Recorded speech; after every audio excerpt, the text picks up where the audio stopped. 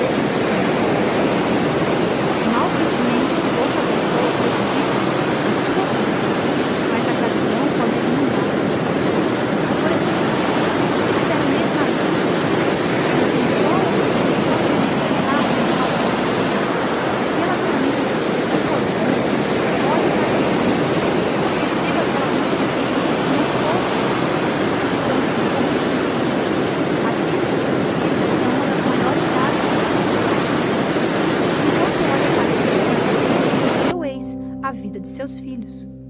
Além de trazer paz e harmonia para o seu relacionamento com o pai ou com a mãe deles, o seu exemplo ensinará seus filhos a mais importante ferramenta de suas vidas, a gratidão. Ou então, se estiver com o coração partido por conta do fim de um namoro, você pode usar o poder mágico da gratidão para transformar a sua dor. Nada consegue transformar tão rápido a dor emocional em cura infelicidade do que a gratidão. A história dos meus pais é um exemplo perfeito disso. Minha mãe e meu pai se aproximaram praticamente à primeira vista. Desde o instante em que se conheceram, eles se sentiam gratos por estarem juntos e tiveram o casamento mais bonito que já vi. A morte do meu pai foi muito dolorosa para a mamãe, o que é mais do que compreensível. Após meses de sofrimento, no entanto, ela começou a usar o poder mágico da gratidão, apesar da enorme dor que sentia. Procurou motivos para se sentir grata. Ela começou a lembrar do passado, recordando todos os momentos maravilhosos de felicidade que havia recebido nas décadas que passaram. Então, deu o grande passo seguinte, buscou motivos para ser grata no Aos poucos, ela se encontrou. Lembrou-se de coisas que sempre quisera fazer, mas para as quais não tinha tempo, e meu pai era vivo.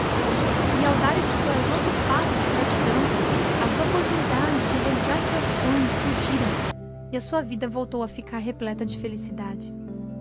O poder mágico da gratidão deu à minha mãe uma nova vida.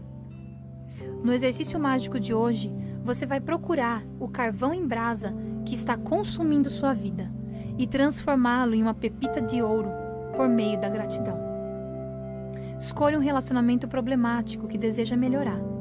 Pode ser uma pessoa que faça parte de sua vida atualmente, ou do passado, alguém que não esteja mais em sua vida.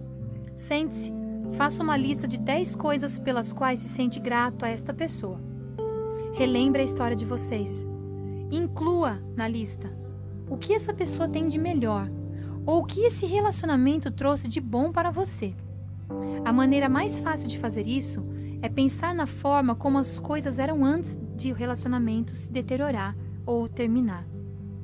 Se a relação nunca foi boa, faça um esforço e lembre-se das qualidades da pessoa escolhida, pois certamente vai encontrar alguma. O objetivo desse exercício não é determinar quem está certo ou errado. Independentemente de como você se sinta a respeito de outra pessoa ou que ela tenha dito, ou deixado de fazer, você pode usar a magia para curar o seu relacionamento com ela. E sequer precisa da outra pessoa para isso. Todo relacionamento é uma mina de ouro, até mesmo os mais complicados. E se quiser trazer abundância para todos os seus relacionamentos e para a sua vida, é preciso explorar essa mina. Quando encontrar a pepita de ouro, coloque sua gratidão no papel, dirigindo-se à pessoa pelo nome, para expressá-la na seguinte frase: Escreva o nome da pessoa e diga: Sou grato por. Escreva o quê? Por exemplo, Paul, sou grato pelo tempo que passamos juntos. Por mais que o nosso relacionamento tenha terminado, eu aprendi muito. Sinto que tenho muito mais sabedoria hoje e utilizo o que o nosso casamento me ensinou em muitos dos meus relacionamentos atuais. 2. Paul, sou grata por todas as suas tentativas de fazer com que o nosso casamento desse certo, pois 10 anos juntos significa que você tentou. Paul, sou grata por você, por nossos filhos, a alegria que eles me dão todos os dias.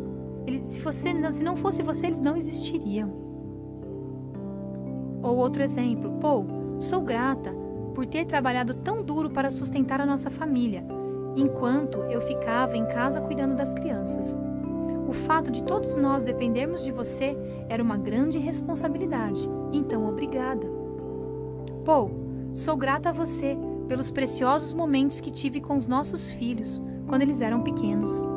Pude vê-los falar e andar pela primeira vez e sei que você não teve essa oportunidade. Paul, sou grata pelo seu apoio quando passei por um momento difícil de sofrimento e luto. Ou, Paul, sou grata a você pelas vezes que fiquei doente e você se esforçou ao máximo para cuidar de mim e das crianças. Paul, sou grata pelos ótimos momentos que tivemos juntos e foram muitos. Sou grata por você querer continuar sendo um pai para os nossos filhos. Sou grata pelo seu apoio, pelo tempo que você deseja dedicar aos nossos filhos. Sei que eles significam tanto para você quanto significam para mim. Quando concluir a lista de 10 motivos para ser grato, você deverá se sentir muito melhor a respeito da pessoa escolhida e do relacionamento entre vocês. Seu objetivo não é nutrir mais nenhum sentimento negativo por essa pessoa, pois é a sua vida que é prejudicada com eles. Cada relacionamento é diferente e, se necessário, você talvez queira repetir esse exercício mágico durante vários dias, até chegar ao ponto que não possua mais sentimentos negativos pela pessoa em questão. Se estiver usando o poder mágico da gratidão para melhorar um relacionamento atual, você passará a ver mudanças milagrosas nele. É preciso apenas uma pessoa para mudar um relacionamento. Mas é quem se sente grato que recebe os benefícios. Caso escolha um relacionamento do passado, que não tem mais contato com a pessoa, você será preenchido por uma sensação de paz, de tranquilidade e, ao mesmo tempo, verá os outros relacionamentos de sua vida atual melhorarem num passe de mágica. No futuro, se algum de seus relacionamentos entrar em crise, Coloque esse exercício mágico em prática. Assim, em vez de deixar que a situação se agrave, você vai aumentar a magia do relacionamento na mesma hora. E no dia 15, use a magia para seus relacionamentos. Número 1. Enumere suas bênçãos logo pela manhã. Escreva por que você se sente grato. Agradeça por sua lista e diga obrigado, obrigado, obrigada por cada bênção. Número 2. Escolha um relacionamento problemático, difícil ou em crise que queira melhorar. Número 3. Sente-se e faça uma lista por escrito de 10 coisas relacionadas à pessoa que você escolheu e pelas quais se sente grato. Escreva na seguinte frase o nome da pessoa e o porquê você é grato. Número 4.